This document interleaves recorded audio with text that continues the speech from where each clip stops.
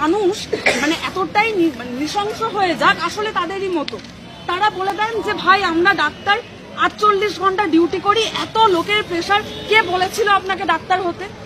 তখন তো নিজে ডাক্তার বাবু, এই কথাটা লোকে বলবে, এই ফ্রেমটা নেওয়ার জন্য নিজে তো জয়েন্ট এন্ট্রান্স দিয়ে ডাক্তারটা করেছেন আপনি কি আমাকে জিজ্ঞেস করেছিলেন? ওনাকে জিজ্ঞেস করেছিল, দাদা, আমি ডাক্তার হব।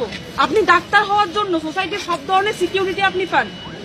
চব্বিশ চব্বিশ আটচল্লিশ ঘণ্টা ডিউটি গভর্নমেন্ট আপনাকে করতে বলেনি। আপনার এখানে আট ঘণ্টা করে ডিউটি করার কথা।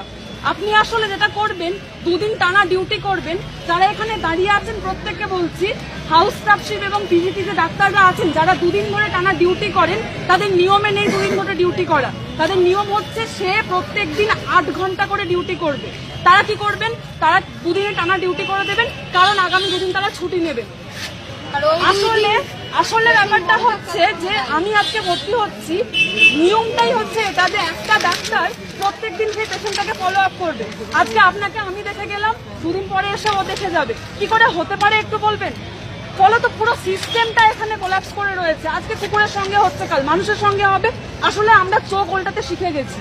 কারোর কিছু হয়ে যাক, আমরা আসলে কিছু ভাববো না। আমরা ভাববো যে আমার পকেটটা ঠিক আছে কিনা, আমার সন্তানটা ঠিক আছে কিনা। এইভাবে তো চলতে পারে না। আর এনারা কেন দায়ী? কারণ এনারা বড় বড় জায়গাতে বসে রয়েছে।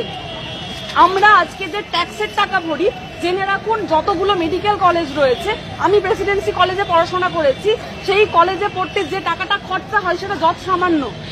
বেসরকারি মেডিকেল কলেজে পড়তে পার সেমিস্টার দেড় লাখ টাকা খরচা হয় গভর্নমেন্ট মেডিকেল কলেজে পড়তে সেই খরচাটা হাফ কেন হাফ জানেন? সাধারণ মানুষের ট্যাক্সের টাকা থেকে ভর্তুকি দিয়ে এই কলেজে পড়াশোনা করানো হয়। আমার দায় বর্তায় যে আমি আপনাদের ট্যাক্সের টাকায় পড়াশোনা করে আপনার প্রতি, পরিবেশের প্রতি, প্রত্যেকটা প্রাণীর প্রতি একই রকম ভাবে যত্ন নেব। এটা বলার কিছু নেই যে, ভাই, আমার চব্বিশ ঘণ্টা আমি ডিউটি করে এত লোককে কি করে সামলাবো?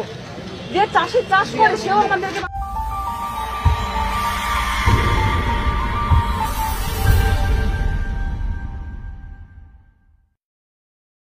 বাঁচিয়ে রেখেছে। কোনো চাষি বলে না যে, ভাই, আমি এত মাঠে কাটছি, আমি কি করে এত দায়িত্ব নেব? কোনো ইঞ্জিনিয়ার বলে না। কেউ বলে না। শুধু বলে হচ্ছে ডাক্তাররা যে, ভাই, আমাদের মাথাতে প্রচুর চাপ। কে?